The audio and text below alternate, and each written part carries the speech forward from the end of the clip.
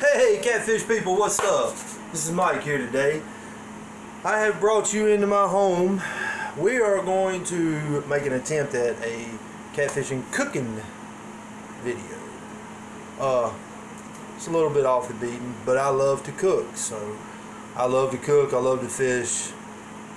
So why not love eating catfish? Um, this is no can't find this recipe nowhere. This is just things that I've came up with. A little bit of this, a little bit of that. Took things that my granny taught me, but that too, her and my mother taught me how to cook.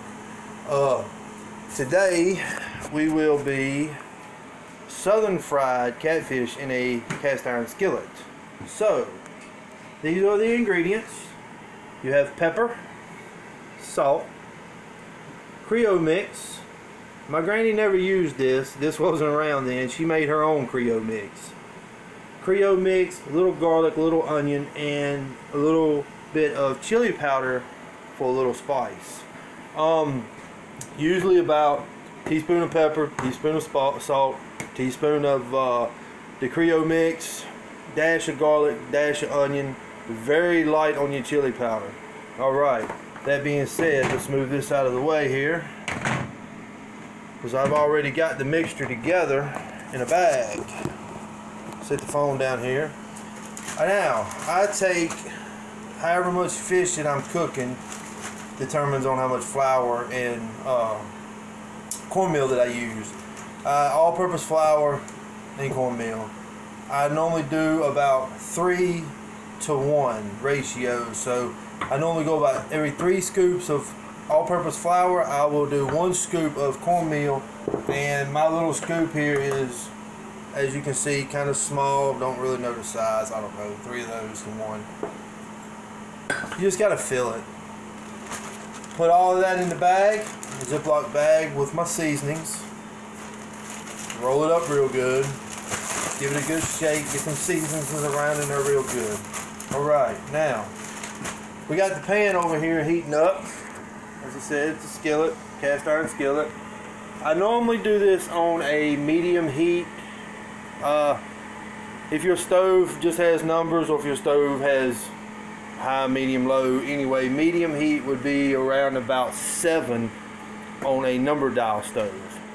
Uh, now, I take my catfish and I usually I clean it up. I put it in uh, salt water. I let it soak overnight in salt water it helps take out a lot of gamey. Some people don't like the gaminess of fresh caught fish. It is different. Fresh caught catfish does taste different than farm raised catfish. Uh, I let it soak overnight in salt water. Then I rinse it off really well, get all of that salt water and everything. Then I normally will let it soak in buttermilk for about four or five hours, as you can see here.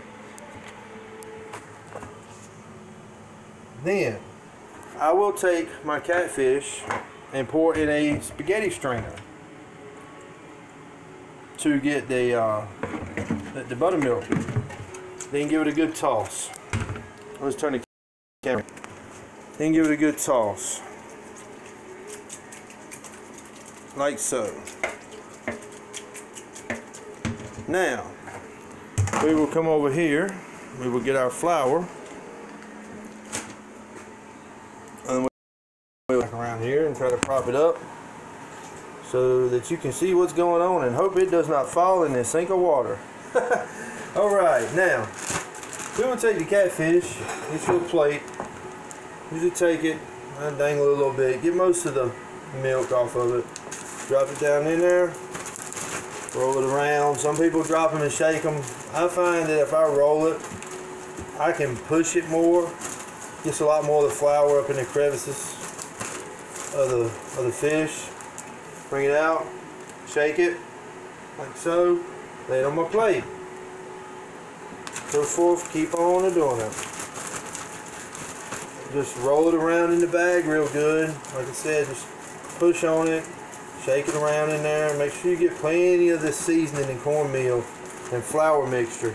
Your batter, your batter mixture. that's about how you want it to look. I like a piece of chicken, I guess. You deep frying some chicken.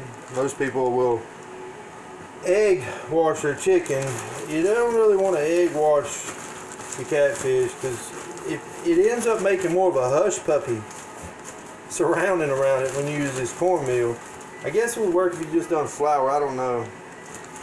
Never, never really tried it that much to experiment. I have, I have did it. It was more like I was eating a hush puppy with catfish in the middle. Um, so if anybody has any tips on that, hey, send them. Hit the like button, subscribe, give me comments, give me feedback, tell me something I may be doing right or wrong. I guess there is no really right or wrong way, but you can tell me your way. Hey, I'll try it. We'll make a video on it. So, we're almost done here with this. One more piece. One more piece here. Get this all battered up real good. Let's set this to the side. Set this here. Get my hand washed off. Uh, while the pan here is heating up. So that we can uh,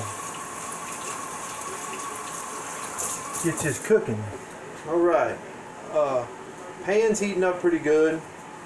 Let's take the fish over here to the stove. Let's get the phone over here so that you can see what I'm doing. I'm gonna go out of view here for a minute. Uh, fork. That's all I use. Now, whole trick for frying foods. Take your batter that you're cooking with and uh, pinch it a little bit in your hand, sprinkle it in your grease. It'll start bubbling. You know your grease is ready. We will demonstrate here in just a second when we get this grease hot. It takes these cast iron skillets a minute to heat up. They are, you know, they're thick, but when they are good and they're seasoned, cast iron, anyone who cooks with one knows that. There's no better frying pan. There is no better frying pan. Anything, I fry everything in there. Everything. So, it works very well. And that was, that's a very good one. It was handed down. If you get a chance to go on a farmer's market, flea market, sales, you know, places like that, it's hard to find good old cast iron uh, skillets now. If you see them, you might want to pick it up because they're not like the store-bought ones. Those are good. Most of these store-bought ones that you get now, they're just made other countries, just not the same. We're gonna give this a test. Oh yeah, we good. So, what I mean by dropping the batter, we'll turn this phone around here so you can see.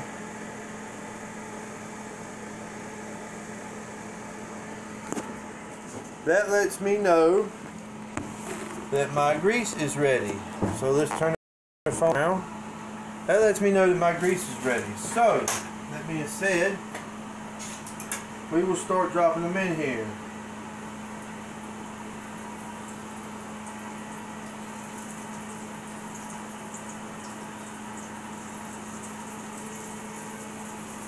Um, typically don't want them, try not to let them touch if you can help it. It, uh, I need a little room to cook. Let's get a paper towel here. We bring them out, we're on seven, so we're good there. They're crisp up good.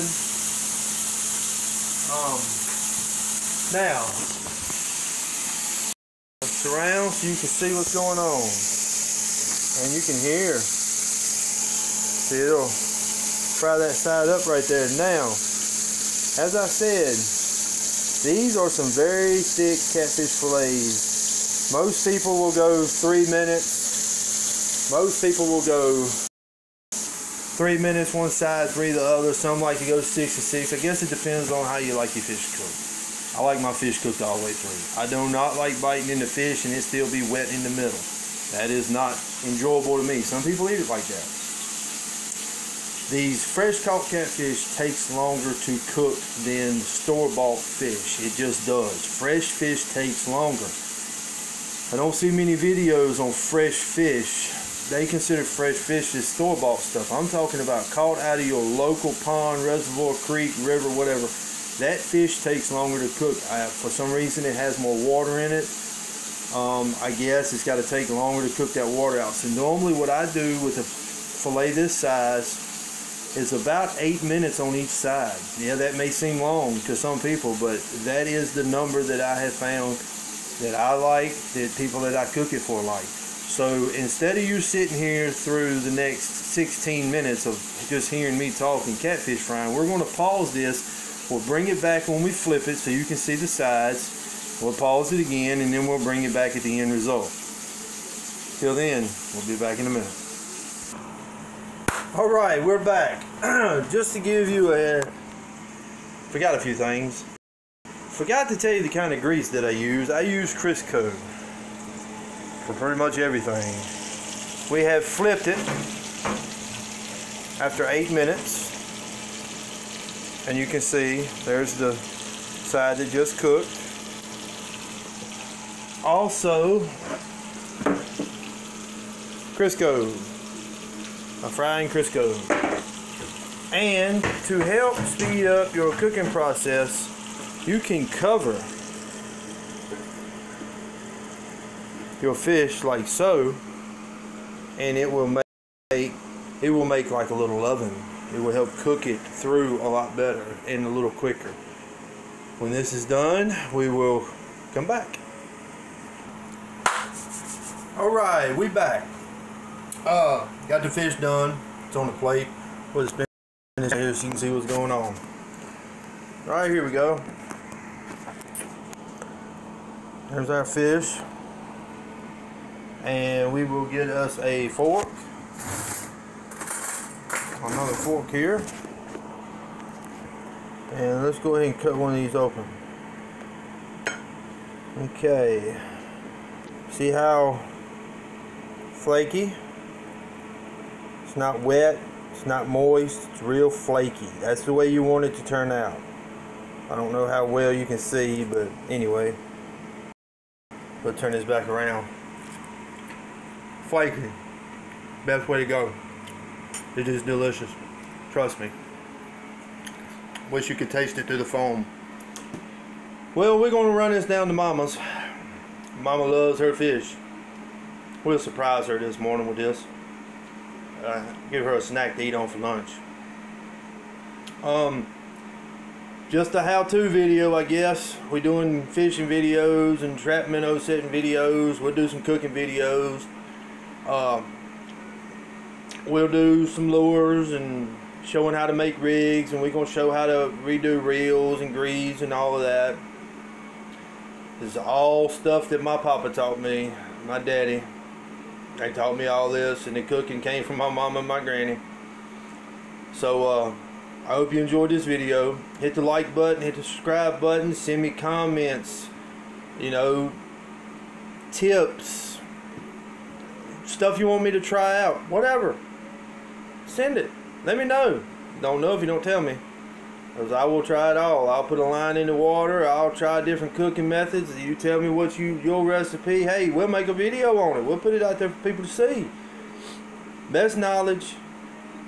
I'm telling you, it, it, the best knowledge is someone telling you. You know, hand me down tales. Till then, go fish, have fun live life. God bless.